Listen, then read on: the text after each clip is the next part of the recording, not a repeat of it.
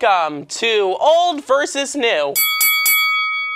Welcome back to Old versus New, where we put classic favorites against their modern counterparts to see which regains supreme. Hey everyone, and welcome to the season premiere of Old versus New. Today we're diving into the world of high school drama with Mean Girls you remember the iconic 2004 classic, but how does the 2024 version stack up? Let's find out. Ah, the OG Mean Girls. It gave us Fetch, the Burn Book, and a whole new lexicon for high school life.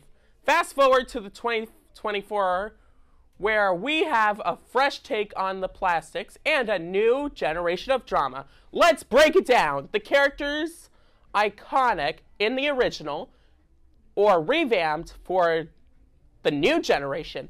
The original had Lindsay Lohan and Rachel McAdams.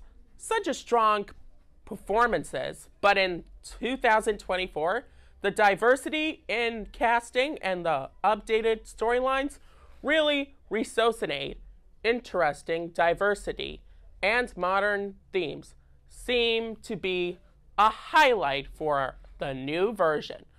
Now let's talk about the storyline. The classic tale of high school cliques or a modern twist on social media and bullying. The original was ahead of its time, but the new one dives deeper into social media's impact on teenage life. It's more relevant today. So, a deeper dive into a digital age? Fascinating! Finally, cultural impact. Which Mean Girls left the biggest mark on pop culture?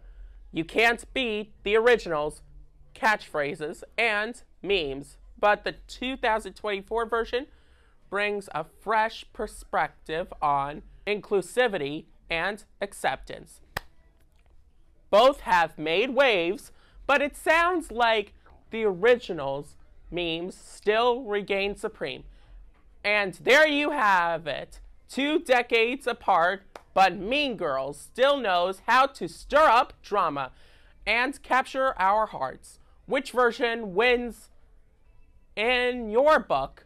Let us know in the comments below. That wraps up another episode of Old versus New. Join us next time as we tackle another iconic duo. Until then, don't forget to like, subscribe, and hit that notification bell for more nostalgia meets modern. Thanks for watching, and we'll see you next time.